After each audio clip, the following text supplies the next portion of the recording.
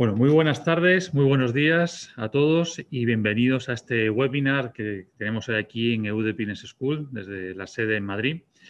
Eh, webinar que hemos titulado eh, Cambios y aprendizajes en la actividad de ventas tras el COVID-2019. COVID Hoy nos acompaña nuestro ponente de lujo, don Luis Gutiérrez Jodra Gamboa, y para los que no me conocéis, soy Juan Díaz del Río, director académico de la escuela. Yo, sin más preámbulos, eh, paso a presentar a nuestro ponente de hoy, don Luis Gutiérrez Jodra, eh, que nos va a, llevar por, esta, por este webinar de hoy. Bueno, don Luis es un International Senior Executive con una carrera desarrollada en el sector de las tecnologías de la información, así como en el sector industrial. En sus inicios profesionales y dada su formación como ingeniero industrial, trabajó en la industria, en la fabricación, en concreto en la empresa Microland, donde fue director de esta empresa. En el año 96 eh, se incorporó a IBM, donde ha desarrollado numerosos puestos en distintas unidades de negocio, ocupando siempre puestos eh, o posiciones internacionales. Así, en IBM, en el año 2001, es nombrado director de ventas de servicios para España. En 2005, responsable de la gestión de la alianza estratégica entre IBM y la empresa Lenovo. En 2008, director de ventas de televisión de hardware en esta misma empresa. En 2010, director general de IBM Global Financing. En 2016 es nombrado vicepresidente responsable de ventas, primero para Europa y posteriormente vicepresidente para la región de MEA. Ya sabéis que la región de MEA es de Europa, eh, Middle East, Oriente Medio y África. De la unidad de servicios eh, técnicos de soporte y en 2020, eh, diciembre en concreto, deja IBM para embarcarse en, el desarrollo de un importante proyecto empresarial que algún día tendremos ocasión de aquí, Luis, de, que nos cuentes. Bueno, como he dicho al principio, Luis es ingeniero industrial y, y, es MBA por el IS Universidad de Navarra. Pues Luis, desactivas el micro y te paso los mandos de este interesante webinar. Muchas gracias a todos y espero que disfrutéis. Un saludo. Bueno, buenas tardes a todos. Juan, muchas gracias por tu introducción. Y efectivamente, estoy en un momento apasionante de mi vida después de haber estado casi 25 años trabajando en IBM, seis años en, el sector industrial, de donde aprendí una barbaridad, aunque fue hace tiempo, y un par de años en una ingeniería. Ese es mi, desarrollo. Con lo cual, bueno, eh, lo primero de todo es dar las gracias a, todos por vuestra asistencia. Es una magnífica oportunidad para mí para eh, iniciarme como docente de UDE al equipo al que me he incorporado eh, hace muy poquito tiempo, aunque no es la primera vez. Eh, tuve la fortuna de dar la conferencia de clausura de la promoción del año 2017, en octubre, y luego di una conferencia acerca de la empresa cognitiva. Siempre el tema de la empresa es un tema que me ha apasionado toda la vida. Em, yo creo que además esto del COVID es una cosa muy interesante. Le parecía interesante hasta, hasta mi hija cuando estaba viendo cómo me preparaba yo esto de aquí. Mi hija, que es una de mis hijas que está estudiando Derecho. Em, y la verdad es que el COVID nos afectaba a todos. ¿no? Y entonces yo lo he vivido liderando un equipo de casi pues, un montón de vendedores, casi 500 vendedores en Europa, y al finalmente en EMEA, me, incorporé, me incorporaron en EMEA después, y la verdad es que ha sido un tema dramático en muchas ocasiones cuando uno no está preparado. Voy a contar un poco la, descripción de mi presentación. Eh, la he separado como en dos partes. La he puesto en dos partes. La primera es Em, trato un poco de sintetizar muy brevemente qué es lo que es una, organización de ventas, su visión y cómo está mantenida, muy brevemente, muy sencillamente, porque al final es la mejor manera que tenemos de ver cómo esto, cómo una cosa como el COVID impacta de la manera que ha impactado y, cuáles son los resultados que podemos tener si no estamos preparados para ello. Vamos a ver.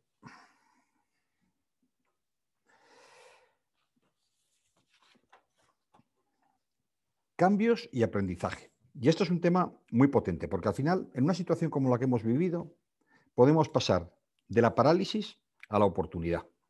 Y en mucha medida, por supuesto, no todo depende de nosotros, ¿no? Depende también qué es con lo que estemos nosotros comercializando, cuáles son nuestros productos y servicios, pero sí depende en gran parte cuando podemos buscar un nicho para seguir, sí depende de la actitud y de cómo nos enfrentemos al problema que tenemos. Tenemos que analizar qué cosas son las que nos cambian, qué cosas son las que podemos seguir haciendo igual y qué cosas son las que vamos a dejar de hacer o las que tenemos que hacer distintas si es que hay que seguir haciéndolas. Es un magnífico momento, entre otras cosas, para hacer estos eh, análisis de, riesgos a, través de entender em, qué actividades son críticas, no puedo prescindir de ellas para nada en mi organización, qué actividades son importantes y debería de hacerlas, pero que quizá algunas de ellas son prescindibles. Y cuáles son deseables, el que dicen los ingleses el, el good to have, que a lo mejor esas son las primeras que nos tenemos que quitar de encima, porque la situación nos ha cambiado dramáticamente. Pandemias en el siglo XX, he estado mirando un poco y ha habido, hubo tres importantes, ha habido muchas, pero ha habido tres importantes. La de 1918, la primera, conocida como la gripe española, aunque el origen no fue español, y donde murieron alrededor, hay ciertas, ciertas dudas acerca de los datos, pero en torno a 40 millones de personas en el mundo. En España solo fueron alrededor de 300.000, pero 40 millones en el mundo. ¿Qué se hizo en aquella pandemia? Estamos hablando del año 18, 1918. En esa pandemia se trató de limpiar, se trató, se paralizaron eh, la asistencia a los colegios, se aisló la gente, se les decía que tenían que beber, que tenían que comer sano. Bueno, en el fondo, no cosas muy diferentes a las que nos han pasado aquí, a pesar de que aquello fue hace muchos años. ¿Qué pasa ahora? Que ahora tenemos un entorno en, la que, lo que todo fluye muchísimo más deprisa y que el contacto y la personalización de las cosas entre nosotros mismos es mucho mayor y las cosas se propagan mucho más deprisa. La pandemia del año 18 duró alrededor de dos años. Bueno, es verdad que cuando esto empezó no sabíamos lo que iba a durar, pero ya estamos viendo la luz al final del túnel. Y hubo otras dos en el año 57 y otra en el año 68 que vinieron de China, que fueron con el tema de la influenza. Yo lo que quiero decir es que es un fenómeno totalmente nuevo. Es un fenómeno que nos llega de una forma totalmente improvisada. ¿Qué es una organización de servicios? Y tanto, he puesto esta definición aquí, que es una definición, hay muchas, es una que yo creo que lo define bien, es, eh, tiene la misión principal de comercializar los bienes y servicios de la empresa, aplicando técnicas y políticas acordes a la estrategia y a la operación de la empresa. Las ventas, para mí, son el motor de una compañía. Si no hay ventas, no hay ingresos, no hay facturación, no hay ingresos. Si no hay ventas, si no hay ingresos, tenemos problemas porque tenemos costes y gastos que no podemos pagar. Cuando sacamos el gross profit o el beneficio operativo de la empresa, es porque hemos conseguido una facturación y unos ingresos que nos permiten que el trabajo que hemos hecho lo podamos imputar y lo podamos restar a esa, facturación y ingresos que he tenido. y, y hago la diferencia porque es muy importante. Una cosa es la facturación y otra son los ingresos, porque la facturación, uno puede facturar, pero luego tiene que cobrar. Y entonces esto es un tema importante, sobre todo cuando estamos hablando de las organizaciones de ventas. Y luego están los impuestos, que es lo que restamos al final a nuestro beneficio, pues para pagar al Estado o a las organizaciones de manera que podamos contribuir al bien común. Lo que son las organizaciones de ventas son sencillas, no son difíciles. Es tener una organización que se ocupe de comercializar y de vender nuestros productos y servicios. Entonces, ¿qué tres cosas puede haber o qué tres etapas podemos destacar un poco en lo que son las actividades de ventas normales? El primero, y para mí el más importante, es el equipo, la selección del equipo, los vendedores, el equipo de ventas. La gente que elijamos para desarrollar estas funciones es fundamental.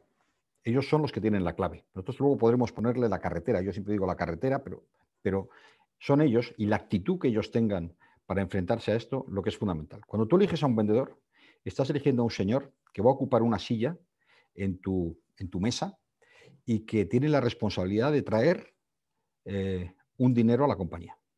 Y si él no es capaz de traer el dinero a la compañía porque piensa que lo va a traer cualquiera de los que tiene a su alrededor, tiene un problema, porque está ocupando la silla errónea. Esas sillas, las sillas de ventas, son sillas que obligan a traer dinero, que obligan a vender, que obligan a generar los ingresos que la compañía necesita. Y si eso no funciona, hay un problema. Puede haber situaciones temporales en las cuales estas cosas pues, no funcionan así de perfectas, pero eso es nuestra realidad. La formulación del plan de ventas. Esto es la hoja de ruta. Todos los años, un poco antes de empezar, o bastante antes, depende de las empresas, eh, se, hace, se, hace, se define cuál es eh, la hoja de ruta que vamos a tener para el año siguiente. El plan se llama de distintas formas. Es el plan que tiene la empresa para conseguir los resultados de facturación y de ingresos sobre el que puede luego apalancar toda su estructura de costes y toda su estructura de gastos y, donde puede definir cuál es su el cuál es la foto que yo quiero hacer, el camino que yo quiero seguir el año que viene para poder alcanzar mis resultados y para poder tener el número de empleados que tengo y para poderles pagarles las nóminas y para poder subcontratar y para poder hacer todo este tipo de cosas. Esto es lo que define el plan de ventas. ¿Qué hay que hacer para esto? Hay que mirar muchas cosas. Tenemos que mirar el entorno, cuál es el mercado, cuál es la competencia. Muchas ocasiones las empresas no quieren perder market share y entonces se define, bueno, pues voy a hacer un 2% más que el año pasado o un 3%, lo que sea. ¿Cuál es la situación de la competencia? No puedo permitirme el lujo de hacer ciertas cosas. Objetivos de facturación, de productos y de margen cuál es el mix de productos que yo quiero hacer en función de lo que yo quiera tener, cuáles me dan más margen y cuáles menos, cuáles puedo producir mejor o cuáles puedo vender mejor o cuáles son los que puedo suministrar mejor sus servicios. Y entonces se hace una especie como de predicción de cuáles son los resultados que yo voy a alcanzar y cuál va a ser mi cuenta de resultados, mi, profit and loss, mi PNL. Y finalmente está el seguimiento. Y el seguimiento es que todo eso que hemos definido, ese camino que hemos definido eh, y que vamos a seguir eh, para hacer nuestra proyección de futuro, cómo va, cómo funciona, qué desviaciones tiene. Si yo he decidido que, por ejemplo, voy a hacer la facturación, el 50% de mi facturación, la mitad de mi año fiscal, vamos a imaginar que el año fiscal sea de enero a diciembre, si en el mes del día 1 de julio yo tengo que tener hecha la mitad de la facturación, porque así lo he definido y así va, como lo que hacíamos en, cuando los ingeniería con lo que llamamos el MRP, que es la explosión de toda mi PNL, eh, y me llega el mes de julio y no lo tengo y solo tengo el 40, pues tengo un problema, porque debería de alcanzar un 10%, o si no, mi hoja de ruta va a ser distinta, no va a ser la que yo he planificado. Ese es un buen momento también para analizar mis desviaciones, intentar ver qué tengo que hacer para conseguir ese 10% en la segunda parte del año y por qué no lo he conseguido durante la primera parte del año. ¿Qué es lo que voy a cambiar? ¿Cómo voy a incentivar a la gente? ¿Cómo puedo hacer que lo que tiene que pasar pase? Yo digo siempre que las cosas nunca pasan solas. Las cosas solo pasan cuando nosotros hacemos que pasen. Entonces, si yo voy retrasado en algo, ¿cómo puedo acelerarlo? A lo mejor no tiene solución. Y si no tiene solución, tengo que hacer las cosas de otra manera. O a lo mejor sí la tiene. Pero eso me obliga a tomar decisiones acerca de cómo voy a poder vender más de este, de este producto que no he podido vender lo que sea. Y esto me obliga a hacer, a tener una buena, lo que se llama una buena scorecard, ¿no? Un buen cuadro de mandos, porque el cuadro de mandos es el que me dice a mí en qué momento de mi trayectoria estoy y cómo voy respecto al plan que yo tengo. Si yo tengo que tener un margen de un 25% y voy por un margen que tiene un 20%, pues tengo que tomar medidas para que mi margen sea del 25%. Y si no puedo conseguir que mi margen sea del 25%, tengo que ajustar mis parámetros para ese nuevo parámetro que aparece ahí, que es el 20% y que yo había considerado de otra manera. Eh, ¿Qué métodos y procedimientos voy a tener yo para evaluar todo esto y cuáles van a ser mis incentivos. Los incentivos en los vendedores son muy importantes. Al final los incentivos son los que definen o son los que me permiten a mí me obrar en qué es lo que yo quiero vender. ¿Cómo puedo yo cambiar la actitud de mis vendedores a la hora de vender unos productos u otros? Pues incentivando más unos que otros. ¿Y por qué me puede interesar a mí más? Me puede interesar a mí más por muchas razones. O porque yo tengo un stock de un producto que no soy capaz de colocar lo incentivo más para que salga. O porque es un producto que me da más margen. Y entonces yo lo incentivo más porque me interesa vender de más de ese producto. Entonces, los incentivos son la herramienta que me permite hacer lo que dicen los ingleses, el fine tuning en lo que puede ser mi organización de ventas. Y el análisis de deviaciones. Y el análisis de deviaciones es una cosa que se hace, se debe hacer con mucha frecuencia, porque es el que nos permite ir manejando, moviendo el timón para que podamos ir hacia donde tenemos que ir. Entonces, estas son las tres actividades básicamente tenemos que hacer una organización de ventas. ¿Qué factores afectan a las ventas? Y esto es todo muy, muy resumido. ¿Qué factores afectan a las ventas? Tenemos factores externos y factores internos. En muchas ocasiones, lo único que vamos a poder hacernos, lo único que vamos a poder hacer, perdón, es anticiparnos al problema. Porque anticiparnos nos va a permitir estar preparados. Y si estamos preparados, tenemos una ventaja competitiva.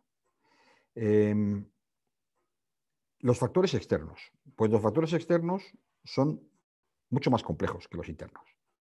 Suelen ser también más complicados, suelen ser menos predecibles, yo los controlo menos, y suelen tener un mayor impacto.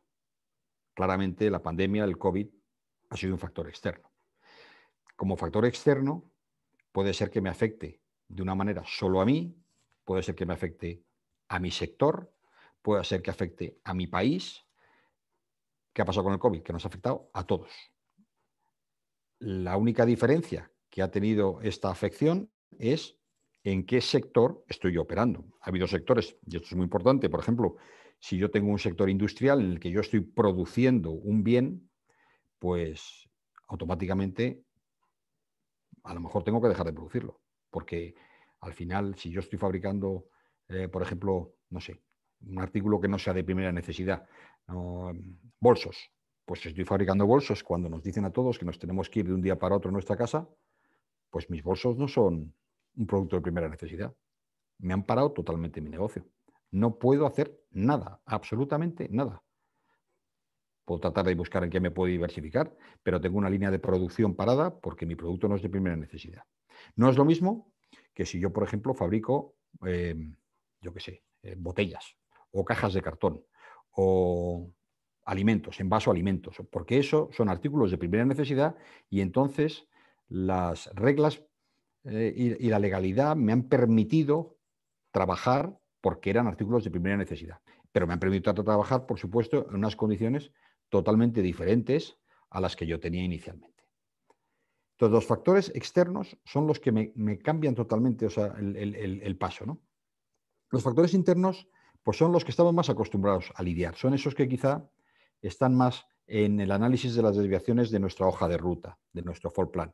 Pues eh, si tengo eh, vendedores que salen de la compañía, o si tengo eh, problemas que me hacen que tenga que anticipar o retrasar ventas, o si tengo cosas en el tema de producción que hacen que, el tema no está totalmente alineado, o si tengo problemas de suministros en mis cadenas de producción, o si tengo problemas con mis subcontratistas, o todas esas cosas que estamos más acostumbrados a manejarlas en nuestro día a día, no porque las controlemos mejor, que a lo mejor no las controlamos mejor, sino porque estamos más preparados para gestionarlas cuando no las encontramos.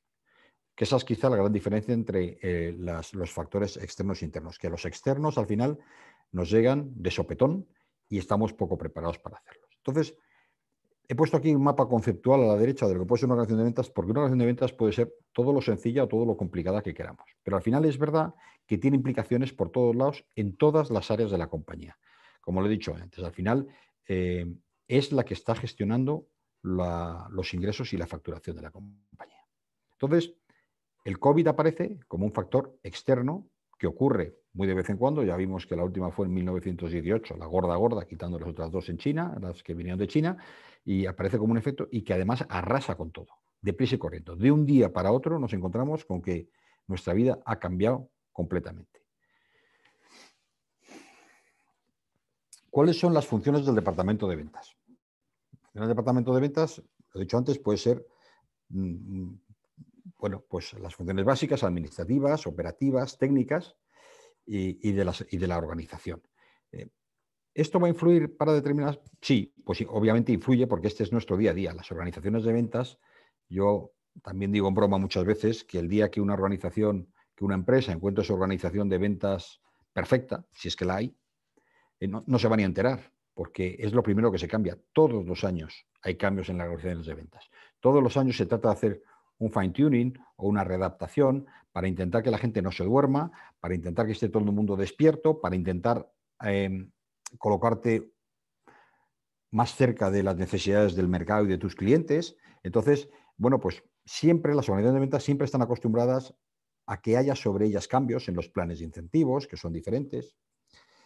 Em, no nos olvidemos que también la organización de ventas, pues depende de qué responsabilidad tenga. Pues hay empresas en las cuales el vendedor es responsable desde la identificación de una oportunidad en un cliente, con lo cual tiene que mantener esa relación con el cliente, la validación de la oportunidad, la cualificación de la oportunidad, la venta de la oportunidad, la facturación y el cobro de la oportunidad. Llega hasta el final. Este señor no va a cobrar su incentivo hasta que el dinero de lo que ha vendido no entra en la cuenta de resultados de la compañía.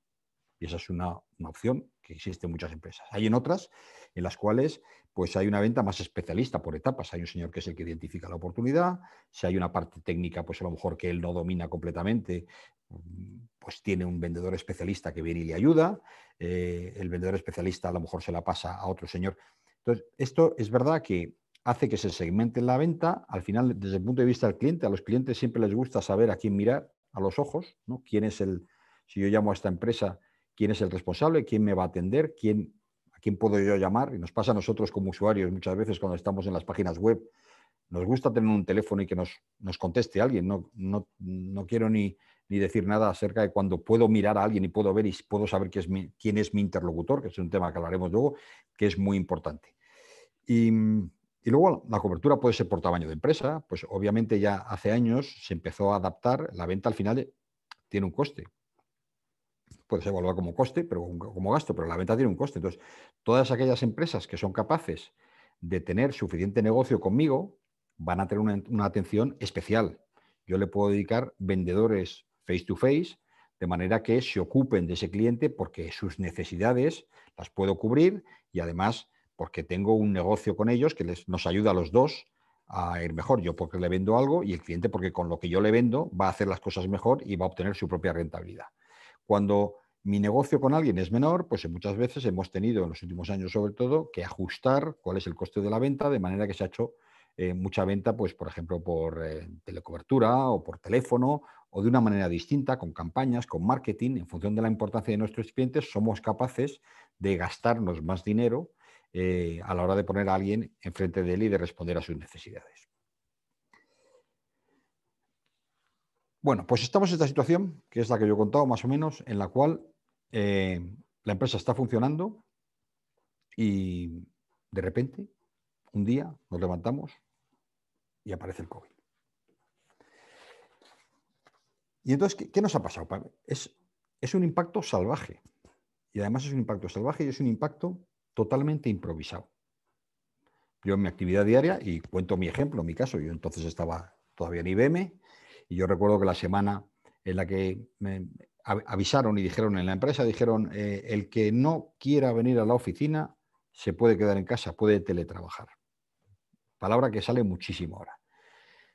¿Cuál es el tema? ¿Cuál es el problema? Que hay muchas empresas en las cuales la gente no podía teletrabajar porque no tenía los medios, o había empresas que no la gente no podía teletrabajar simplemente porque el negocio que manejaban no permitía el teletrabajo. Pero aquellas empresas en las cuales se podía teletrabajar fue la instrucción que nos dieron. Y yo recuerdo que andábamos por los pasillos de la empresa, unos cuantos, no muchos, y pues bueno, en mi pasillo hubo unos cuantos que nos cogimos el COVID y yo afortunadamente lo pasé muy bien y muy deprisa, pero al final eras carne de cañón. Entonces, ¿cuál es el impacto en tu actividad diaria? Pues que te cambia radicalmente. Si tú eres operario en una industria, y sigo con el ejemplo, que fabrica bolsos, pues dejas de ir a hacer bolsos. Y la empresa se para, se paraliza. Pero eso no quiere decir que la empresa no siga teniendo sus deudas con sus proveedores y sus deudas con sus clientes, porque no va a servir lo que tiene que servir. Pero lo que no cabe duda es que se ha paralizado y tú no puedes seguir trabajando. Si mi empresa es una empresa que tenía primeros productos de primera necesidad, pues es verdad que yo puedo acudir, pero a lo mejor aquí pues tenemos que hacer un poco un análisis más, más detallado de lo que son los riesgos. Que, eh, eh, es importante decir que las personas, por ejemplo, tenemos tendencia siempre a, a infravalorar los riesgos. Pues ¿por qué iba yo a la oficina? Pues porque pensaba que a mí no me podía pasar. Bueno, pues infravaloré el riesgo de que me pudiera contagiar de COVID. Y estas cosas pasan muchas veces. Pensamos que el riesgo que a nosotros nunca nos va a pasar. Eh, yo creo que si algo hemos aprendido después de estos, de este, estos meses eh, y de este año y pico, pues es que esto nos puede pasar a cualquiera y que el alcance y el golpe que nos pueda dar, pues depende mucho de lo preparados que estemos para hacerlo. No digo que con esto tenemos que estar preparados para un COVID, tenemos que estar preparados para el impacto que nos puede causar una acción externa que no controlemos de ningún tipo, que en este caso ha sido una pandemia. ¿no? Entonces, ¿qué, hacíamos, por ejemplo? Decíamos, mira, pues lo primero que vamos a hacer es eh, evitar los brotes en las oficinas porque se me puede contagiar toda la gente. Prohibimos que la gente vaya a las oficinas. Luego tenemos determinados trabajadores que son críticos. ¿Qué hacemos? Protegemos a estos trabajadores críticos y a estos sí que les dotamos de medios porque entendemos muy bien en esa clasificación de, la importancia que tiene que esos señores no podemos prescindir de ellos. Les aislamos. Luego nos ponemos a mirar a nuestros clientes y a nuestros proveedores y decimos, a ver, ¿qué, ¿qué les ha pasado? Yo hago mi análisis del entorno, yo tengo mi cadena de valor en esa vertiente de tres aguas arriba mis proveedores, aguas abajo mis clientes y en medio yo. Y el entorno nos ha cambiado a todos. Lo que a mí me está pasando, cómo le va a afectar a mi cliente y cómo le va a afectar a mi proveedor. Y en ese momento, pues tenemos varias formas de, enfrentarnos al tema. Este es el análisis de riesgos y oportunidades, porque también ha habido oportunidades para muchas empresas en esta situación, no para todas, pero muchas de ellas sí que han tenido oportunidades. Cuando yo he ido y he mirado a mis clientes y me he dado cuenta que mis clientes tienen un problema importante, eh, trato de ayudarles. Yo al final no voy a ser solo un proveedor de mis clientes. Si yo puedo llegar a ser un partner y un partner estratégico de mis clientes, mi posición se refuerza un montón delante de ellos. ¿Y qué pasa con mis proveedores, para los que yo soy el cliente? Pues lo mismo, ¿qué, es lo que me hace falta de estos señores para que yo pueda seguir avanzando? ¿no? Empresas que tenían un pulmón financiero eh, gordo, pues lo primero que hicieron fue decir, a ver, eh, señor cliente, yo voy a diferir o voy a retrasar mis periodo de pago de lo que haya facturado. Y vamos a ver cómo nos ponemos de acuerdo en este nuevo entorno que nos afecta a todos, cómo nos ponemos de acuerdo para seguir funcionando. Porque no nos olvidemos que en muchos casos era sobrevivir o desaparecer. En un momento dado. Ahora lo estamos viendo todo con un poco de, más perspectiva, gracias a Dios. Pero en el mes de marzo, en el mes de abril, el mes de mayo del año pasado, la situación era completamente distinta. Aquí parecía que las cosas no avanzaban, solo se oía em, noticias negativas y es verdad que dependiendo del sector en el que operas, había determinadas empresas que estuvieron funcionando, funcionando bien. ¿no? Eso me obliga a, a tener unos cambios en la forma de operar y de funcionar. Lo que decía yo al principio, ¿qué cosas puedo seguir haciendo porque me hacen falta y qué cosas no voy a poder hacer ya? Y aquí tengo que ser, hemos tenido que ser mucho más restrictivos.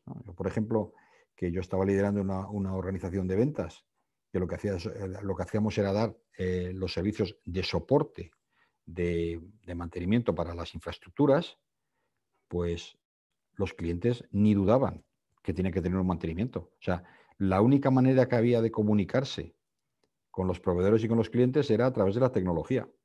Solo faltaba que la tecnología tuviera problemas y no funcionase. Rompías el único nexo de comunicación que tenías en tu cadena de valor.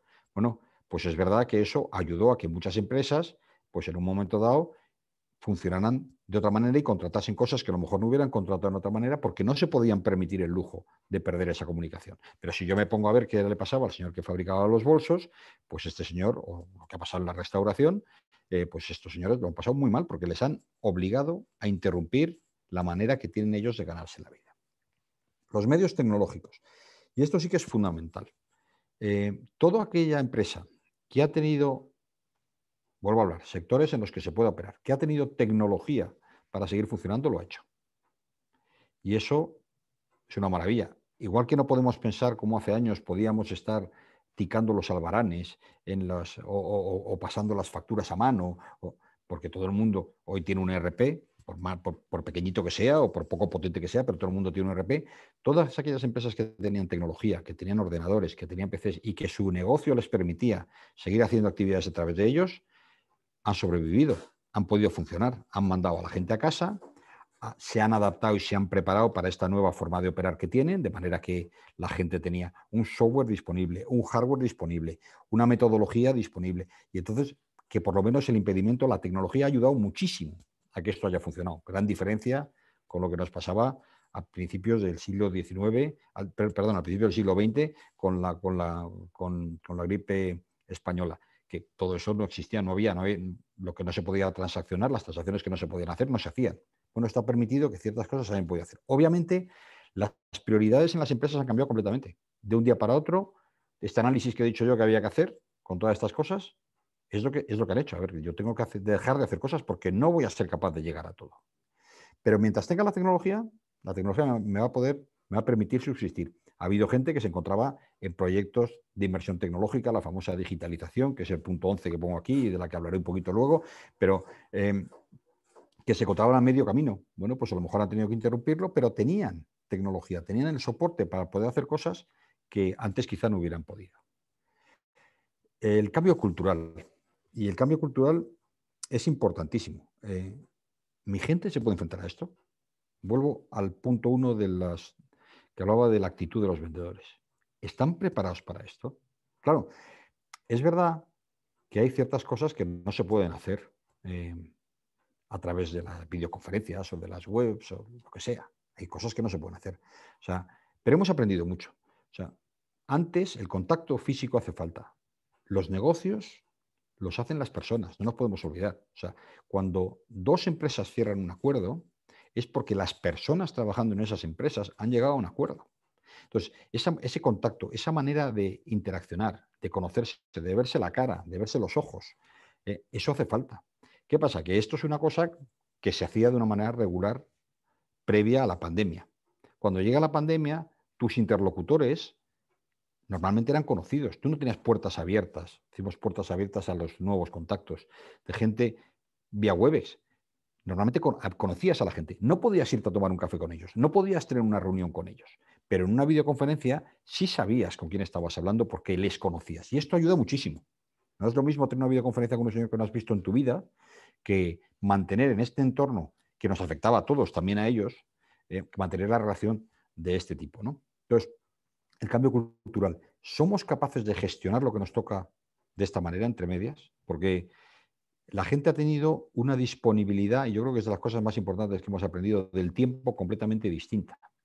A lo mejor antes era muy difícil cerrar una reunión con un señor, porque tenías que ir a ver a su oficina, a su despacho, y bueno, pues las agendas estaban, eran complicadas y era difícil cerrarla. Cuando hemos empezado a que todo todo, absolutamente todo se hacía vía ordenador, eh, la gente tiene más tiempo. Y entonces ha habido gente que ha sabido aprovechar muy bien la oportunidad de poder contactar con un señor de la única manera que se podía hacer, que es con un ordenador. Y entonces la gente ha dispuesto de ese tiempo mejor. No tenía tiempo de desplazamiento, de viajes. Entonces, en algunas ocasiones se ha optimizado mucho mejor el tiempo. Pero ese cambio cultural hay que estar preparado para tenerlo, porque si no, estás perdido. La cadena de valor. Y, este es el análisis que decía yo, ¿cómo me cambia? ¿Cómo me cambia con mis proveedores y cómo me cambia con mis clientes? Eh, pero no solo a mí en mis relaciones con ellos, sino entender también cómo a ellos les afecta su entorno y cómo yo puedo ayudarles. O sea, pasaba, nos ha pasado, a mí, esto no pasa en todos los sectores, al señor de los bolsos, y perdonadme porque insista con el ejemplo de los bolsos, pero es que es muy gráfico, al señor de los bolsos poco se le puede ayudar porque no le dejan fabricar y porque aunque fabrique, ¿dónde lo va a vender? Si es que no hay tiendas. Bueno, tenemos todo el comercio a través de la web, pero estaba la gente preocupada entonces por comprarse un bolso, pues a lo mejor no había stock para vender bolsos. Todos esos son los análisis que uno tiene que hacer, pero en determinadas situaciones nosotros, por ejemplo, desde IBM sé que ayudamos a muchísimas empresas que tenían, a lo mejor no completo todo el soporte de los medios tecnológicos, les ayudamos a que montasen y estructurasen toda su cadena de valor, proveedores, empresa, clientes, muy, muy rápidamente. Eso es un valor tremendo. Quiero decir, al final le dijiste, le, pusiste carretera a la gente. Cuando después de cortarse le pusiste una carretera para que pudieran seguir haciendo cosas. Pues eso es una cosa que más han valorado mucho. ¿Qué pasa? Que cuando tú eres capaz de ayudar por, tu, por, el negocio que tú estás manejando, eres capaz de ayudar a tus clientes en los momentos difíciles y además lo haces, eso te genera una relación con tu cliente que no se olvida en la vida. Nunca siempre van a confiar en ti. Es el, verdadero, la verdadera relación de, socios, de partnership, como dicen los ingleses. Pues esa cadena de valor, un análisis inmediato, porque a lo mejor hay cosas que yo vendía que ya a lo mejor no tienen interés, no vendo, pero a lo mejor hay otras que vendía poco y que tengo que volver a retomarlas porque son las que permiten a mi cliente seguir adelante y yo le puedo ayudar. ¿Cómo está preparado mi entorno? Pues lo que estaba hablando yo antes. ¿Qué ayudas van a necesitar? ¿Qué cambios tienen que hacer? Y la desaparición. Esto era la supervivencia o la desaparición.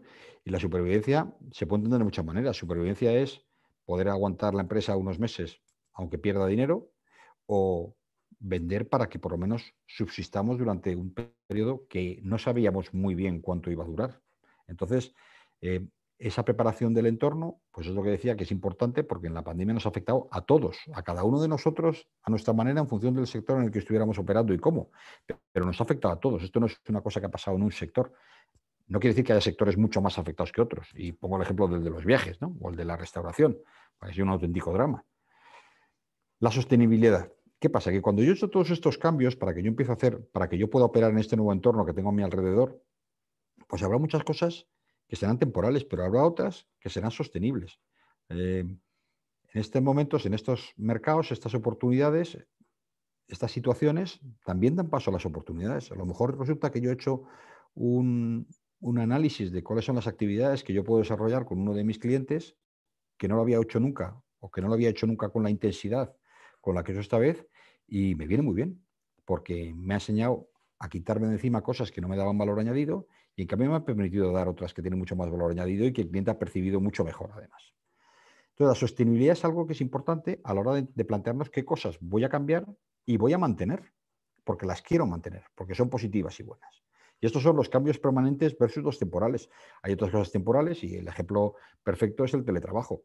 Hemos pasado en determinadas empresas de estar 100% presencial a 100% teletrabajo. Eso no quiere decir que se vaya a mantener 100% el teletrabajo, pero a lo mejor llegamos en un momento en el cual puedes decir, oye, pues puedo mantener un 80-20, un 70-30, un 60-40.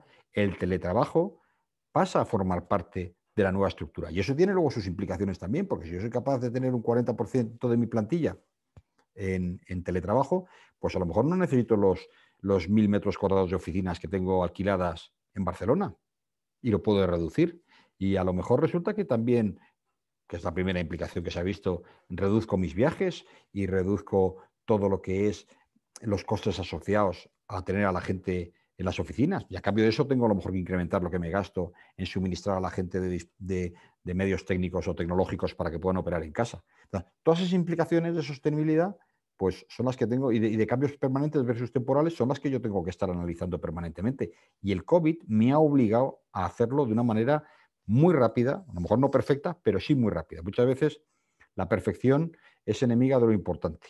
Quiero decir, por hacer las cosas perfectas, como tardemos mucho, en el, mercado nos vuelan, no llegamos a tiempo. Entonces, las cosas hay que hacerlas suficientemente bien como para que tengan el retorno que estamos esperando de ellos. El punto 10, digo, nueva empresa. Es que en muchas ocasiones todo este cambio, toda esta sacudida que nos han dado, pues hace que yo esté en una nueva empresa. Que yo haya hecho muchos cambios que tenía pendientes de hacer encima de la mesa, obligado y forzado, porque es que si no me moría. Y tengo una nueva empresa y esa nueva empresa se puede plantear cosas que a lo mejor antes no me planteaba. O sea, que esto es como un petardo que nos han puesto, un acelerador que nos han puesto y que nos ha obligado a ir muy, muy, muy deprisa. Y luego finalmente pongo el punto de, la digitalización. La digitalización se considera como, como el fenómeno, como la mayor transformación que puede tener una empresa. Y toda empresa que no sea, que no esté en un proceso de digitalización, parece que no merece la pena. La digitalización eh, es muchas más cosas. Es esos procesos de transformación continua que tienen las empresas. Una empresa nunca puede estar dormida ni puede estar parada. Una empresa tiene que estar continuamente recibiendo los inputs del mercado para adecuarse a lo, que el mercado pide. O sea, muy pocas empresas sobreviven muchos años. ¿Eh? IBM, y hablo de IBM porque es la que conozco muy bien, pues eh, este año hace su aniversario 110. Hay pocas empresas que tengan 110 años de historia. Pero claro, se transforma muchas veces. Porque si hablamos de la misma IBM que teníamos hace 80 años, o 60, o 20, pues estaríamos equivocados. Por eso hay muchas empresas que no subsisten tanto tiempo, eh, porque no están en esos procesos de transformación. Esta, la, digitalización que nos permite, la, digitalización básicamente nos permite llegar a todos nuestros clientes y a tener una nueva experiencia de consumo. O sea, tenemos que estar preparados para que sea lo que nos viene encima. y la correcta implementación de la digitalización yo creo que ha habido un, webinar sobre ella, además aquí en EUDE, pero es tener un propósito claro, es tener una estrategia, es tener todo el potencial tecnológico y utilizarlo, y luego ser capaz de implementar la cultura en los empleados de la empresa para hacerlo. O sea, no estamos hablando de cosas muy extrañas, estamos hablando de un día a día, pero al que hay que sacarle chispas, porque es el que nos va a permitir estar preparados para, avanzar. ¿no? Bueno, esto es lo que nos pasa cuando llega el COVID. Tenemos todo esto y esto es el análisis que, yo he hecho, los puntos que he considerado que son fundamentales, que lo hemos visto con nuestros clientes y en qué situación nos hemos ido encontrando. Y luego yo he querido ser, porque esto de, de que hemos aprendido, bueno, pues que hemos aprendido, uno está aprendiendo continuamente y, además eh, yo tenía un amigo que decía que él salía a la calle a aprender, porque cuando le enseñaban le salía carísimo. Pues esto mismo, ¿no? Pues lo de aprender pues depende mucho de cada uno de nosotros, ¿no? Pero lo he puesto como temas a considerar porque yo creo que es muy importante. Yo creo que eh, de una cosa de estas como la que hemos tenido eh, se puede salir reforzado. Y hay que tratar de salir reforzado, porque si no salgo yo reforzado, saldrá otro. Seguro que va a haber gente que salga reforzada. Entonces, el COVID es el primer acelerador de la digitalización, entendiendo la digitalización como los procesos de transformación. Y esto es curioso porque se hizo una encuesta a los CEOs hace como tres meses que yo leí y entonces se ponía cuáles son los principales parámetros que cree usted que han eh, impactado más en el grado de digitalización de su empresa. Y el primero, con diferencia, era el COVID. El COVID ha sido una sacudida en todo lo que es nuestro entorno productivo y de manera de trabajar y de funcionar. Entonces, ¿qué quiere decir esto? Cuando hablaba yo antes de los impactos eh, externos e internos, que tenemos que estar preparados para los impactos externos. ¿Cómo? En nuestro día a día. No puede ser que yo me levante todos los días pensando que va a haber una pandemia, pero yo tengo que saber que si pasa algo en mi sector, que puede pasar mañana, yo tengo que estar preparado para reaccionar. O sea, esto que hablaba yo de la anticipación es de las pocas cosas que voy a poder hacer. El segundo punto es disponer de la tecnología necesaria. Si no tengo la tecnología necesaria, no voy a poder apoyarme en ella. Si yo no tengo ordenadores, no voy a poder utilizarlos. Si yo no tengo un software que me permita comunicarme con mis clientes y con mis proveedores, no lo voy a poder usar. Entonces, la tecnología tiene que estar ahí. Y las inversiones en tecnología han aumentado, porque la gente no se puede permitir el lujo de quedarse fuera. Hoy en día, el que no tenga tecnología está muerto. Entonces, esa tecnología tiene que ser un, un business as usual, un permanente en nuestra manera de funcionar y de ejecutar las cosas en nuestra empresa. El modelo híbrido de trabajo. Pues hemos hemos sido forzados todos a irnos a nuestras casas, a trabajar los que hemos podido trabajar y los otros a, buscarse la vida, a ver qué era lo que podíamos hacer. Y ese modelo de trabajo al final hay que utilizarlo de una manera positiva. Yo soy de la teoría de que hace falta la comunicación, hace falta el contacto con las personas. Todos necesitamos el contacto con las personas. Pero podemos a lo mejor racionalizarlo un poco mejor. ¿no? Yo creo que y sigo hablando de IBM, en IBM era una cosa que estaba bien entendida. Eh, había gente pues, que un día a la semana, dos días a la semana, no iba a la oficina, trabajaba desde casa. Bueno, no pasaba nada. Es verdad que en un momento dado yo era de la teoría de que no se podía trabajar todos los días desde casa porque era lo mismo, pero a un vendedor tú le tienes que exigir resultados, el vendedor tiene que estar en los clientes. Una fuerza de ventas pues tiene que estar preparada para, para preparar unos informes y mandarlos y estar actualizado, pero estar sobre todo en contacto con sus clientes. Entonces, pues a una verdadera unidad de ventas, esto le ha afectado muchísimo porque no podía estar con sus clientes, pero le ha mejorado también la manera de poderse comunicar con los clientes, porque a lo mejor hemos sido capaces de reducir toda la actividad presencial que teníamos para aumentar la actividad de comunicarnos con ellos utilizando la tecnología. El sentido de pertenencia a una organización, y esto es clave, viene muy ligado a la cultura. Cuando tú te sientes orgulloso de pertenecer a una empresa, porque esa empresa está haciendo lo que tú crees que debe hacer, eso ayuda muchísimo. Y cada uno en nuestra casa, esto es muy complicado. Cada uno en nuestra casa no podemos estar pendientes de que al final eh, fulano trabaja conmigo, no trabaja conmigo, qué hace, qué no hace.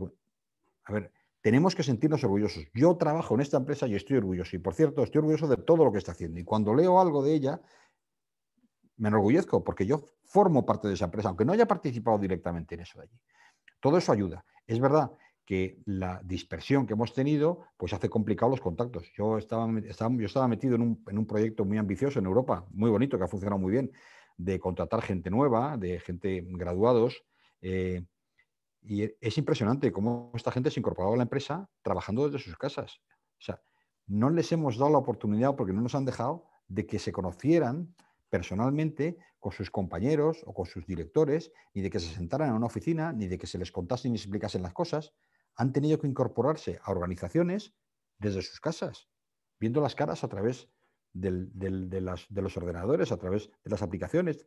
Pues eso es tremendo. Es durísimo, es tremendo, pero es una experiencia que no se olvidará la vida, porque la gente ha tenido que intervenir de esa manera. ¿no? Entonces, ese sentido de pertenencia, ¿cómo le vas a pedir sentido de pertenencia a una persona que entra y que no, no se ha visto con sus 10 compañeros de trabajo? Es complicado, pero es muy importante conseguirlo. La cultura de la responsabilidad, muy ligado a todo lo que estaba yo contando antes. La cultura y la responsabilidad, porque eh, al final, si mi empresa sobrevive, si mi empresa va bien, a mí me va a ir bien. Y si mi empresa quiebra, yo tengo un problema gordo. Entonces, ¿qué es lo que yo puedo hacer para que este impacto que nos ha pegado a todos en la frente no, me, no nos deje de lado, no me deje de lado? Entonces, eh, ¿estoy preparado? No lo estoy, y si no lo estoy, ¿cómo funcionamos todos ahora mismo con las videoconferencias? Todo el mundo sabe manejarlas, porque nos hemos tenido que habituar a eso.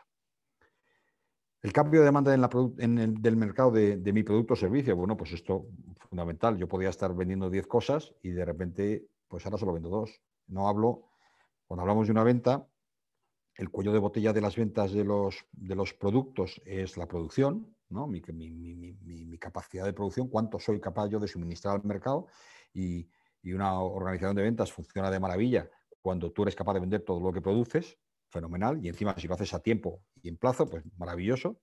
Una unidad de servicios, pues lo que vendes son horas de trabajo, con lo cual cuando has perdido un día de venta, lo has perdido, no lo vas a recuperar, te queda el día siguiente. Entonces, bueno, pues en, cuál es la situación de mi mercado, ese análisis fino que he tenido que hacer, porque ahora ya no me puedo permitir el lujo de perder el tiempo. Vamos a decir, perder el tiempo es no vender lo que yo tengo que vender. Tengo que ser mucho más concreto en qué es lo que voy a vender y cómo, porque de eso dependerá el que yo pueda sobrevivir o no. Pues una vez que he hecho ese análisis, y hablábamos, por ejemplo, del margen, pues que a lo mejor ahora mi prioridad ha cambiado. Este producto que tenía mucho margen es un producto que no es tan necesario y mis clientes me están demandando algo que para mí era más marginal, pero que es lo que yo puedo vender ahora. Y por cierto, eso es a lo mejor lo que a ellos les hace falta en este nuevo entorno en el que se están encontrando. Con lo cual, me ha cambiado el paso. Bueno, pues ahora tengo que ver cómo vuelvo, tengo que hablar con ellos, tengo que intentar entender cómo me impacta esto para mi nueva vida futura. La flexibilidad multicanal y alianzas, pues ¿qué he tenido? He tenido que vender de todas las formas posibles. He tenido que vender como Dios me ha dado a entender. O sea, que decir, siendo muy flexible, utilizando canales que a lo mejor no utilizaba antes, aliándome a lo mejor con proveedores o incluso con clientes para poder hacer cosas que antes no se me hubieran planteado. Oye, eso me ha abierto puertas. Resulta que a lo mejor soy capaz de hacer cosas que antes no era. Y que esto me ha forzado a hacerlo, pero que en el nuevo entorno en el que yo me encuentro, pues es bueno, es una cosa que nos hemos quitado los dos, mi cliente o mi proveedor y yo nos hemos quitado las ventas de la cara y que somos capaces de llegar a acuerdos que son buenos para los dos. La internacionalización. ¿Y por qué digo esto? Porque la, venta ahora, pues cuando tiene tanto soporte tecnológico y se hace de esta manera, resulta que a lo mejor empresas que no se habían planteado vender fuera de España o fuera de su país de origen, ahora sí pueden, porque han aprendido a funcionar en remoto, porque han aprendido a utilizar la tecnología para comunicarse con sus clientes y sus proveedores.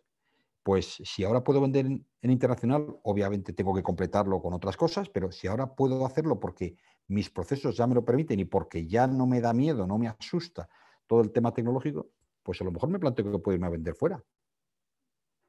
Hasta ahora no lo había. Tenía tanto camino que recorrer, me parecía que era una montaña tan alta eh, para escalar que no lo he hecho, pero a lo mejor ahora ya lo puedo hacer.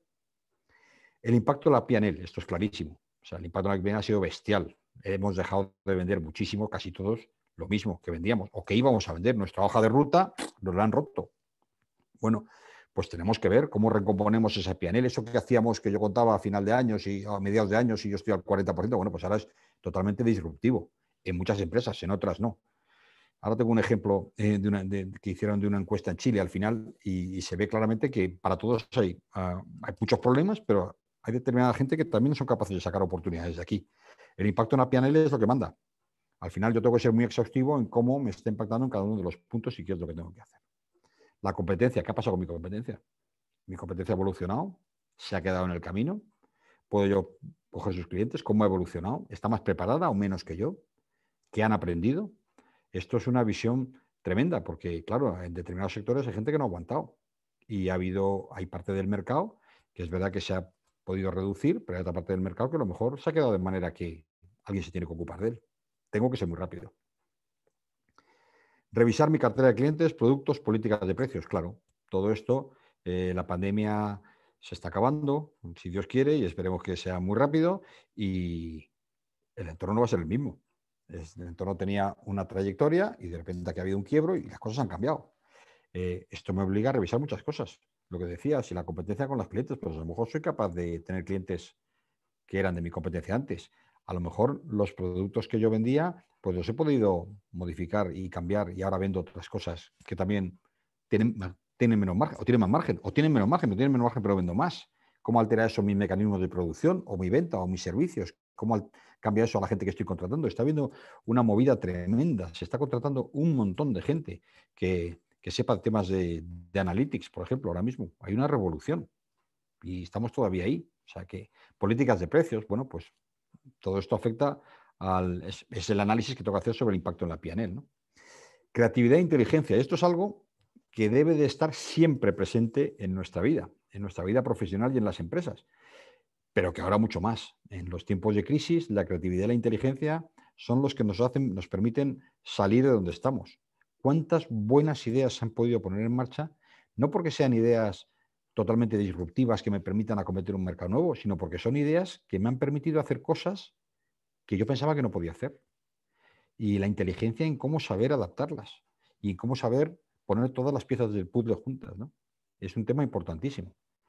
La creatividad tiene que estar, obviamente, tiene que ser, no vale todo. Uno tiene que entender que no está disparando con, con, pólvora ajena. ¿eh? Entonces, las pruebas hay que hacerlas siempre, lo digo, con, a ser posible en pilotos. Pero aquí no ha habido tiempo. En el COVID hemos tenido que ir muy rápido y ha habido mucha gente que ha tenido que jugársela. Y ha habido gente que lo ha salido bien. Entonces, bueno, pues tenemos que aprender de cómo podemos sistematizar esa manera que nos hemos tenido que jugar, hemos tenido que dar el salto del trampolín y nos ha salido bien. Pues ahora tenemos que educarnos y tenemos que, lo que viene en el siguiente punto, buscar esas nuevas habilidades y skills para que seamos capaces de estar preparados en todo momento para lo que nos viene encima o para lo que nos puede venir encima, no solo con los cambios pequeños o los internos, sino con los externos. Si mi organización es una organización resiliente, es una organización que está preparada para, para todo esto, pues no cabe duda que eh, yo estaré en una situación muchísimo mejor. Y finalmente, y este es el último chart que tengo, esto es un estudio en Chile hecho de 400 empresas con una facturación de más de un millón de, dólares y de cuál era su situación con respecto desde marzo hasta julio del 2020, o sea, en plena pandemia. ¿eh?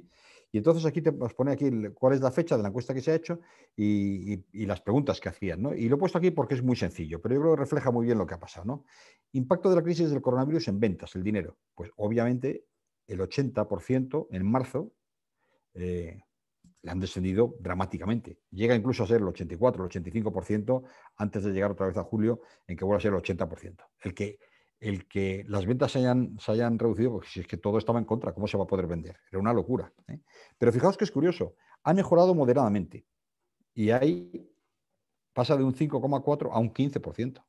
Tenemos gente que ha encontrado una oportunidad clara. Digo clara porque todavía la pandemia no había pasado y ya ellos estaban mejorando su cuenta de resultados. Si vamos a la siguiente pregunta, acciones de la empresa para sobrellevar el impacto del coronavirus. Pues claramente aquí, como veis, los dos primeros puntos hablan del, tema de los, del, teletrabajo, de, de la web, del Webex, de cómo funcionamos con todo, con toda la tecnología, ¿no? Que los, los, eh, las plataformas virtuales, obvio, es que el coronavirus tiene una plataforma virtual, pues ha tenido un problema. Entonces hay que estar preparados por las plataformas virtuales todo esto es tecnología al final, hay que saber utilizarla. Esto de un día para otro no es un interruptor que se enciende la luz y se apaga. Hay que saber, hay que estar habituados. No solo que sepas encender el ordenador, es que sepas utilizar y saber qué es lo que quieres detrás y cómo eso puede ligar con tu manera habitual de trabajar. ¿no? Y luego hay unos que son obvios, que es la de hemos eliminado los viajes y hemos cancelado las reuniones presenciales. Pues claro, obvio, que no se ha podido hacer nada de esto. Entonces, todas las empresas que estaban eh, operando en este tipo de sectores, pues tienen un problema importante, porque a ellos sí que de verdad les ha afectado tremendamente. Tenían un, negocio entre manos que la pandemia pues, se los ha reventado, se los ha volado. Y luego los KPIs más importantes para, para, monitorear el equipo comercial en la pandemia, pues dicen cuáles son, pues evidentemente, cuántas veces llamo a los clientes, pues, lo de siempre, pero hecho ahora con esto que digo, no, no son las visitas que hago, son las, las conference call o las videoconferencias que yo tengo con mis clientes. Y a esto nos ha ayudado mucho el tema porque ahora un cliente tiene más ha tenido más disponibilidad de tiempo, le resultaba más fácil tener una reunión por videoconferencia con nosotros que citarnos a una reunión en su despacho. Eso ha sido así. Es verdad que por el otro lado ha habido menos venta, el número de las ventas ha, decrecido y entonces las organizaciones han podido preparar mejor las propuestas. Antes tenías que hacer 100 propuestas y a lo mejor pues hacías 60 y otras 40 pues a lo mejor se retrasaba, no llegaba hasta, hombre, ahora si hay 60 propuestas, pues has hecho las 60 propuestas perfectamente. Entonces, lo que, hayas, los que lo, que has presentado, pues has podido presentarlo mucho mejor y más a tiempo. ¿no? Entonces, es importante porque al final lo que nos dicen es, hay un incremento en el uso de las herramientas de CRM, entendiendo como CRM todo lo que está relacionado con el cliente. Al final, ventas es cliente, es ponerse los zapatos del cliente. La formación del trabajo online, claramente, lo que estamos hablando, toda esta preparación para que tú puedas acometer el negocio desde donde estás ahora. La venta consultiva, escucha activa, empatía. Claro, eh, los clientes ahora estaban en una situación distinta. Tienen, han tenido más tiempo que dedicarnos a nosotros de otra manera, con otra calidad, pero es un tiempo que antes a lo mejor nos costaba mucho más tener. Si somos capaces y hemos sido capaces de hacernos con los medios para aprovechar ese tiempo a nuestro beneficio, pues resulta que nos hemos encontrado que la oportunidad que nos han dado vía utilizar los medios tecnológicos sale rentable. Mayor apoyo en marketing, obviamente, y luego, por supuesto, como siempre, el tema de los resultados y los incentivos. Yo, en general, pienso que ha sido una época durísima, que dependiendo de los, de los sectores en los que uno opere, ha impactado más o menos, pero que de aquí las empresas que sobrevivan y que salgan adelante van a salir muy reforzadas porque han aprendido que todas estas cosas hay que estar preparado para hacerlas. No quiere decir que lo tenga que hacerlas todos los días, pero hay que estar preparado para hacerlas. Este análisis de, lo que es el riesgo, que es el impacto por la probabilidad, ¿no? ¿Cómo me impacta esto a mí y qué probabilidad es la que, es la que pase? Pues la probabilidad es baja, pero el impacto es tan bestial que más vale que yo tenga algún, alguna medida de contención preparada vía la gente, los medios, el negocio, mis clientes y mis proveedores. Y que cuanto antes lo haga, pues mucho mejor. Y con esto yo he terminado. Eh, yo creo que tenemos algunas, algunas preguntas en el chat. Voy a mirar.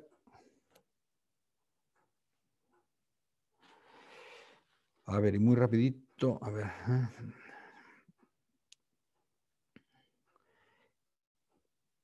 Tengo aquí una pregunta de Guillermo Pérez que dice, ¿qué, métodos o modelos serían necesarios para preservar los equipos de trabajo y sus interrelaciones dentro de las empresas en un entorno virtual? Yo, bueno, yo, yo creo que te he contado un poquito el tema. Yo, esto lo primero es el orgullo de pertenencia. Y esto no es una cosa que se haga de un día para otro. O sea, cuando un tío entra en tu empresa, que el tío esté, orgulloso de trabajar allí. Luego tú tienes que dar los medios para que pueda interrelacionarse con, con su gente y con su equipo, ¿no? Eh, pero tiene que, tiene que funcionar así. Tú al final, eh, que él se sienta que de verdad es un, es un elemento, es un representante vivo de tu empresa y que es capaz de dar la cara delante tuya con sus clientes. Y, pero obviamente, esto no es que haya cambiado mucho, es siempre igual. O sea, ¿cómo haces tú para que la gente no se quiera ir de tu organización? Tienes que tenerlos motivados y contentos. Cuando tú estás en una organización que funciona, en una organización que vende, que crece y que la gente cobra sus incentivos y que se los pagas y que los clientes son serios porque tú eres serio también y cuando tú vendes algo, tu empresa te respalda porque suministra lo que tú has vendido, pues estás en el mejor de los mundos. Entonces, eso es lo que tú tienes que conseguir, que toda la empresa funcione bien para que nadie se plantee ir allí. Yo, yo y cuento, es una, anécdota, yo cuando estaba haciendo este plan de graduados en Europa, em, me acuerdo que una de las cosas que más me sorprendió fue que eh, esto no era como en mi época, hace muchos años, que yo entraba a trabajar en una empresa cuando estaba estudiando la carrera y un día me preguntó mi padre, ¿y cuánto te pagan? Y dije, papá, pues no le he preguntado. Y me dijo, pues no sé, no, parece que no te enteras de nada. Bueno, porque en aquella época era trabajar, trabajar, coger experiencia, lo que fuera, aguantábamos lo que fuera. Es que ahora la gente le tienes que vender tu empresa, le tienes que decir por qué es bueno que trabajen en tu empresa y qué es lo que ellos van a sacar profesionalmente años. Es muy distinto.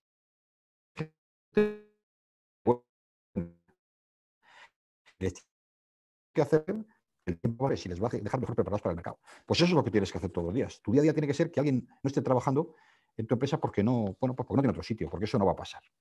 No sé si Guillermo se contesta tu pregunta. Y eh,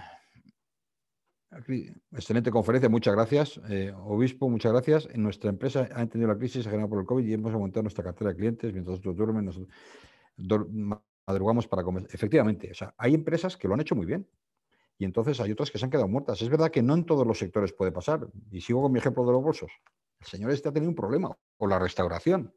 Eh, ¿Qué ha pasado con la restauración? Un tío que le cierras un restaurante que no puede dar comidas, ¿cómo va a vender algo? No puede hacer nada. Está muerto. Entonces, aquí es la controversia, la discusión que ha habido entre la salud y la economía. Y hay que entender que ambas están muy juntas. O sea, tú puedes tener una salud envidiable que si no tienes para comer, pues no vas a durar mucho. Y Claro, no vale todo. Tú no puedes tener la empresa abierta de aquí, que pase lo que pase con el tema del COVID, con la pandemia. No es fácil de gestionar, pero hay que controlar las dos cosas. Porque lo que no puedes hacer es que tú eches el cierre y pensar que dentro de todas las empresas cerradas durante los meses levantas el cierre y no ha pasado nada los gobiernos tienen que hacer ayudas fiscales. Miren las empresas, ya parece que nos hemos olvidado muy rápido. Nadie te está diciendo, ah, pobrecillos que has tenido un COVID, no has podido vender lo mismo que antes. No, los accionistas y la bolsa dice, tú dijiste que vas a vender 100, ya has vendido 90. O sea, luego el mercado es muy duro a la hora de, a la hora de definirnos y de calificarnos. ¿eh? Y hemos tenido el COVID, sí, pero macho, tú te que seguir vendiendo. Aquí no se andan con, con prebendas, ¿no? Es un tema duro. Ya no tengo nada más aquí. Em, yo no sé si alguno preguntas y respuestas. A ver, aquí Juan Pablo Garza me dice, parece que un vendedor es más eficiente trabajando en casa que en una oficina. Bueno, eso no es cierto del todo. Bueno, eficiente. Un vendedor con que tiene que estar es con sus clientes. Es la manera que tiene. Y tiene que ser capaz de transmitir lo que le dicen los clientes muy rápido en, tu casa, en tu empresa. Porque ese input hace falta, ¿no? Entonces, pero tiene que estar con los clientes, tiene que cubrir a los clientes, sin olvidarse de que trabaja en la empresa que trabaja. Hay muchas veces que los vendedores dicen, no, es que el cliente quiere, bueno, pues a lo mejor lo que quiere el cliente es muy bueno para el cliente, pero supone para mí una pérdida. Entonces, ¿qué estamos haciendo? Sea, quiere decir que tú trabajas aquí, que tu salario te lo pagamos aquí. Tienes que vender, esto tiene que ser un win-win, bueno para el cliente y bueno para la empresa también. A ver, los modelos, me preguntan también desde Colombia, los modelos de gestión en teletrabajos para que los colaboradores que estén viendo esta nueva realidad en la crisis y las empresas como un generador de estrés. Yo creo que la única forma que hay de enfrentarse al teletrabajo es teletrabajando. O sea, al final, yo hace años recuerdo cuando empezamos a hacer cosas con lo que llamábamos telecobertura. Y no hay nada más duro que ser de telecobertura. No, no había nada más duro que ser de telecobertura. Cuando un señor tenía que localizar a un cliente por teléfono y tratarle por teléfono, sobre todo cuando los clientes no estaban preparados para eso. Porque ahora los clientes están preparados para que tú por teléfono hagas determinadas gestiones. No se puede hacer todo. ¿eh? Y cuando digo por teléfono, digo vía, vía, vía videoconferencia también. Ahora la gente está más, estamos más habituados. El tema cambia mucho, el mercado cambia mucho, pero hace años era, tremendo, era durísimo. Pero la única manera que hacer era hacerlo. O sea, uno tiene también en determinadas cosas que tratar de habituar al mercado y, tratar de entender lo que yo he dicho al principio. O sea, eh, si tú me compras a mí em, por eh, mil dólares, no puedes pretender tener una cobertura de ventas que me coste a mí, que me cueste a mí diez mil dólares porque es que sería, un error, no estoy gestionando bien mi empresa. Si tú me das a mí mil dólares, yo tendré, te tendré que dar a ti una cobertura de ventas adecuada a los mil dólares que estoy recibiendo de ti, porque habrá otro señor que me tenga que dar los diez mil y a ese señor le tendré que ponerla. Y eso es así. Entonces, el teletrabajo es una manera, desde el punto de vista de ventas, de hacer determinadas actividades. No todo se puede hacer teletrabajando, pero sí hemos aprendido que hay determinadas actividades en el proceso de venta que no hace falta hacerlas presencialmente. Y ojo, siempre tienes que conocer a tu interlocutor. O sea, Pretender hacer todo sin es difícil. Siempre tienes que conocerle de alguna manera. No tengo nada más yo aquí, ya. No sé si eh, llevamos justo, justo una hora. Soy, soy, soy una máquina, lo he hecho perfecto. A ver, José Martín me dice, eh, la videoconferencia no genera la misma confianza que la venta presencial. Por eso lo que tú tienes es, lo he dicho antes, los negocios los hacen las personas. Los negocios entre las empresas los hacen las personas. Entonces tú tienes que, conocer a tu interlocutor. Cuando tú conoces a tu interlocutor, pues una videoconferencia es mucho más fácil, es una etapa más. Hay cosas, es como eh, cuando hablas por teléfono con alguien, si lo conoces, pues bueno, puedes dar un recado. Quiero decir, que son, son, no son excluyentes. Tú estás manejando una situación o una oportunidad con un cliente determinado al que conoces, al que cuando tienes que ir a verlo lo vas a ver pero que cuando tienes que resolver una cosa que lo puedes hacer de otra manera, con una videoconferencia, pues a lo mejor lo haces, porque eso es bueno para ti y para mí.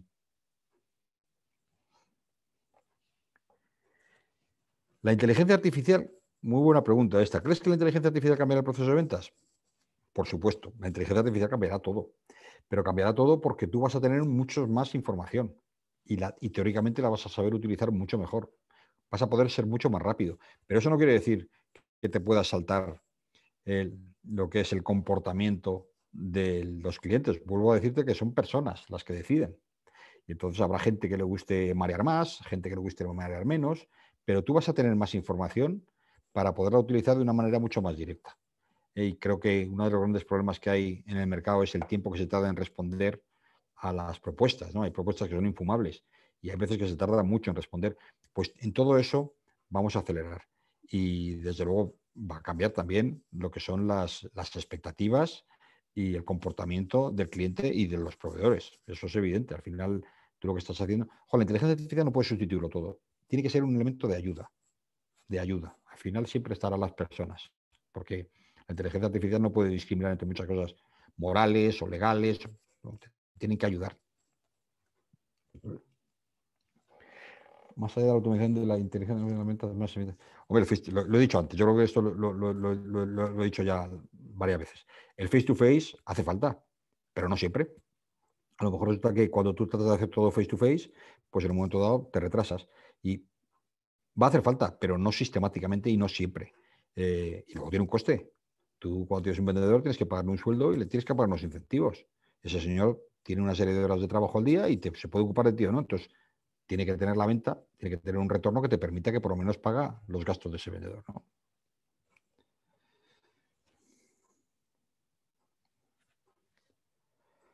En un prospecto, el nuevo cliente, pues el nuevo cliente es lo que estaba diciendo antes. Ahora si volvemos a la normalidad, el nuevo cliente tendrás que ir a verlo y tendrás que ponerle cara y ojos y tendrás que conocerte y verte. Cuando eso se puede hacer. Si no se puede hacer, para ese cliente que tú tienes, la única forma que tiene de conocerte es a través de una videoconferencia. Y por eso las habilidades y los skills tienen que ser distintos. Por eso tienes que estar preparado para utilizar la tecnología a tu favor.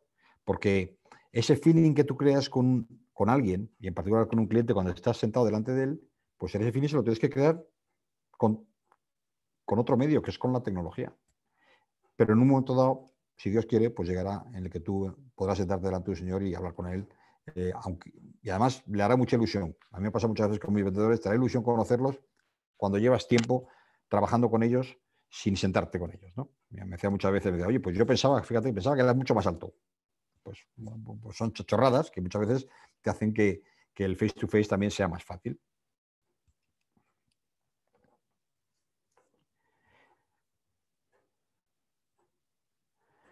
¿Cómo cambiará el tema de los impuestos las nuevas regulaciones de UE en los procesos de ventas. Los impuestos, bueno, los impuestos, los impuestos serán en cada país y esto es una de las cosas que claras. ya lo decía, quien decía que había dos cosas claras, ¿no?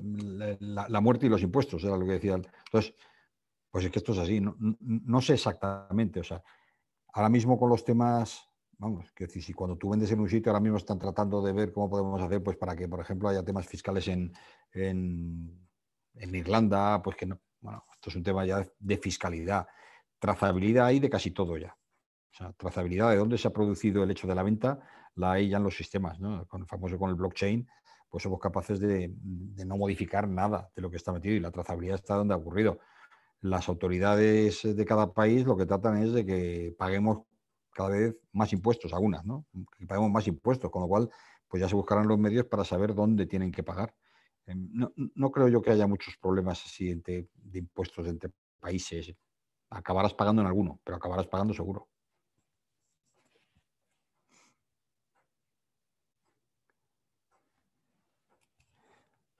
Bueno, no tengo nada más yo aquí ya.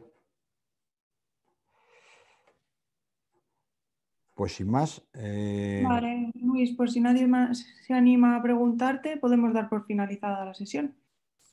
Fenomenal, Virginia. Pues muchas gracias a todos y mucha suerte. Estamos en un mundo apasionante, de todas formas, en el que tenemos que ir muy rápido y adaptarnos a lo que el mercado nos va diciendo. Y vender es generar la confianza de tu cliente en el producto que tú necesitas. ¿eh? Mucha suerte. Muchas gracias, gracias Luis.